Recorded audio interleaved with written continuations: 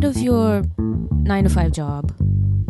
You honestly feel like there's no sense of purpose, like there's no purpose in life.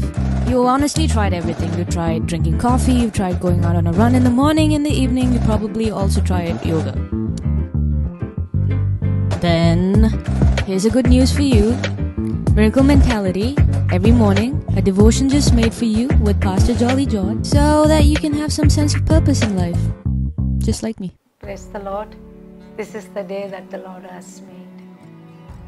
And you are a victorious person today because God has made you as a victorious person. So, Matthew chapter 7, verse 24, we read like this Whoever heareth these sayings of mine and doeth them, I will liken him unto a wise man which built his house upon a rock. These are the words of Jesus. He's speaking, he's saying that whoever heareth my word and whoever does my word, I will like him because he's like a wise man who built the house upon a rock. We hear many times we teach our children building the house upon the sand and house upon the rock. And we teach in Sunday school and we teach in VBS, all those things, the stories and the songs about the wise men and the foolish men. But today my question is what about us? What about you? Is you are building your house upon the solid rock called Jesus Christ? Is your foundation is upon the cornerstone called Jesus Christ? Is your foundation upon a solid rock? That rock which won't move, it won't be shattered, it is an unmovable, adamant rock. You listen the word of God and you do the word of God, definitely you will be like a wise man who built the house upon the rock. In every area of our lives, we need to keep reading the Bible. We need to keep applying these principles in our, our lives, This key is in our lives.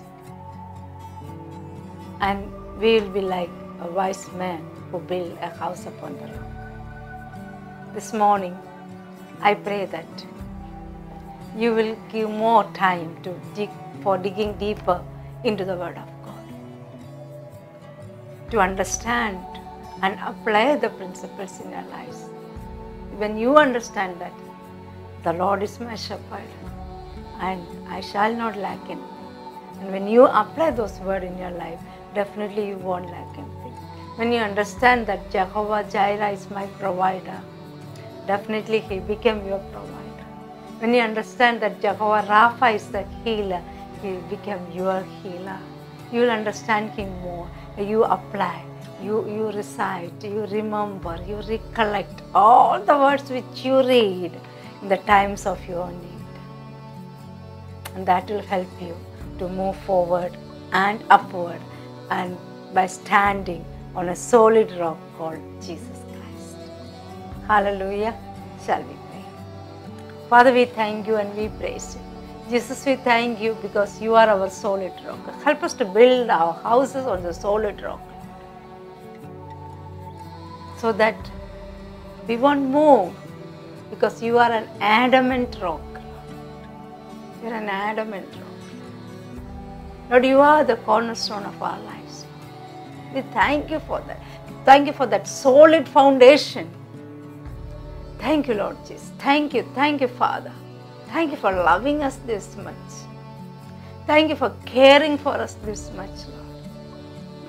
Thank you. Today morning I pray that all of your children, those who are looking for the solutions and the answers, Lord, help them to dig deeper into your word, Lord, so that they'll find answers and solutions and they will build their house upon a rock called Jesus. We thank you and we praise you. In Jesus' mighty name we pray. Amen. Amen. Have a blessed day.